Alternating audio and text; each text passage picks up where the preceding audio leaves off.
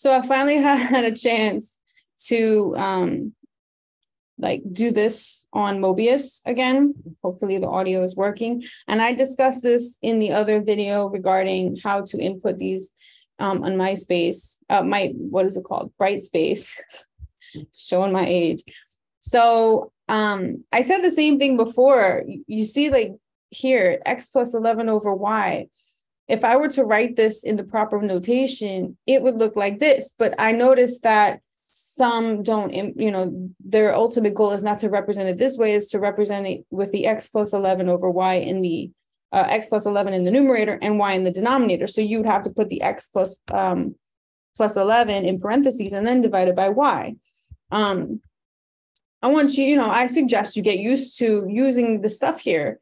Um if i click this a to the b you'll see that I have union, I have a fraction, I have exponents, I have square roots, I have absolute value, I have in, you know, um, other types of roots with, I could change the index. Somebody asked me how I do, you know, something like that. So if I click on that, I can scroll here with my arrows or my mouse, and I could change that to a three, and I could change this to, for example, let's say I want um, an X and I'm using my arrows to go left and right, x squared. And then um, I can also do y to the third or y to the second. Um, there's a symbol on your on your uh, computer, which uh, is above the number six, and it's like this arrow pointing up. If you want to use that that basically gives you exponents faster than going through this process here by clicking on this and and, and going here. So if I wanted to write, um, let's just say like x raised to some exponent x, and then I would press shift six and it would raise it. It would do that arrow for me. Um, x squared, I could do it that way. Or, and that's just keyboard tricks. I can click on this and I could do this one for exponents go over to the A, change it to an X, scroll over to the B, change it to a two. So whatever you, you know, whatever you like. Um, I have infinity here, so I can use that for my interval notation. And it's really important that you go in order from left to right. So if I want, let's say negative infinity to four, and then parentheses, and then I want to add to that. So I saw union here which is my symbol to add another interval from, let's just say four to positive infinity, close parentheses. This is basically saying all real numbers except for four. If you remember with interval notation, parentheses is not inclusive of the number, and then brackets would be inclusive of the number. So if I were to write, um, oops, a bracket, negative two, let's say to positive infinity, this is saying everything greater than or equal to negative two in interval notation. You have to get used to that. Um, let's say I want to do the quadratic formula, for example, x is equal to, I want a fraction. So I'd go here and I could use the fraction tool. And on top, I want the opposite of b.